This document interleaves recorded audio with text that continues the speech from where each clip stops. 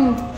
Cie, cie, cie, cie. Adek lagi pacaran ya?